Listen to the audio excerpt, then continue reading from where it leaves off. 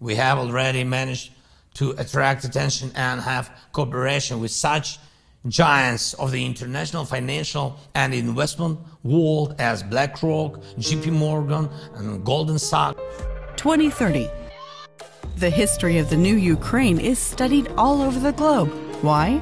Because Ukraine became the most digital and convenient country in the world. Grips have replaced bureaucrats. 500,000 former public servants are successfully integrated in the new economy. More red tape, but paperless, or banknotes, but cashless. We became the first country to abandon paper money. Ukraine now has the best tax system for the IT industry and the most affordable e residency. Ukrainian courts are guided by artificial intelligence, and all notarial acts take place online. Customs clearance and car registration can now be done in three clicks from your smartphone we have built the most flexible and modern digital education. Brave military and civilians get quality treatment with modern remote monitoring and e health systems. Ukraine also has the most effective cyber defense in the world. The Ukrainian government is digital, more like an IT company in terms of the efficiency of implementing decisions. Ukraine is the freest and digital.